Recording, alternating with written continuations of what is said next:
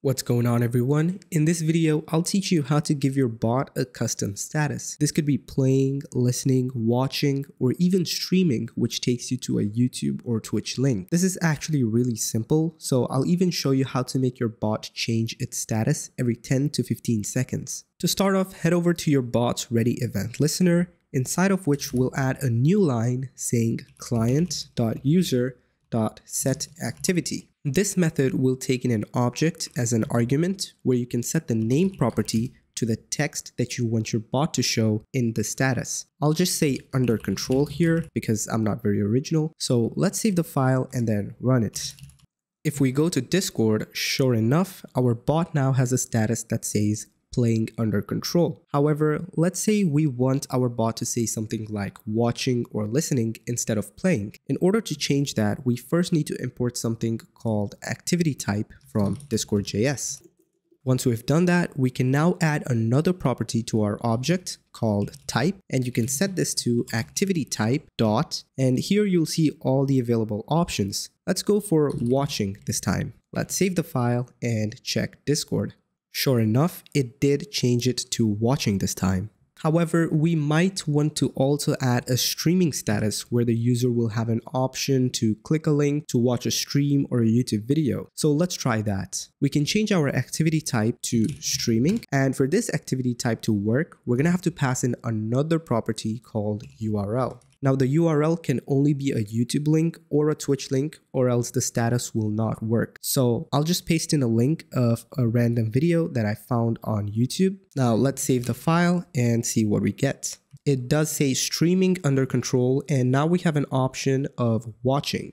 Now let's say we want our bot to change its status every few seconds. In our case, we're going to be changing it every 10 seconds because I noticed when it's too short, Discord starts rate limiting the feature. To set that up, let's first create an array called status which will take in objects of all the possible statuses that we want our bot to show. Each object will have the name property and you can optionally add type and URL based on your choice. In this case, it is following the structure of this object right here, which means you can just cut that and paste it over here. Now I'm going to duplicate this a few times and modify it a little. Okay, now I have my array ready, so let's work with it. Inside our ready event listener, let's first remove the previous code that we had and let's use a set interval. And the interval time that we're going to use is, as I said before, 10 seconds. So the milliseconds is going to be 10,000. Inside our set interval function, let's create a variable called random, which will generate a random index based on the length of our status array. We can say math.floor, math.random, and we can say times status.length. Finally, we can set the bot activity based on that index. So let's say client.user.setActivity, and let's set it to the status of that random index that we just generated. This is really all you need. Let's save the file and check our bot. Now, since we're using set interval, it is going to take 10 seconds before the first function is triggered, which means we're going to have to wait 10 seconds. However, in some cases, like mine right now, it is going to take a little longer because I think Discord started rate limiting on how much I can change my bot status. Awesome, it's now working. Now it's going to be changing every 10 seconds to another status.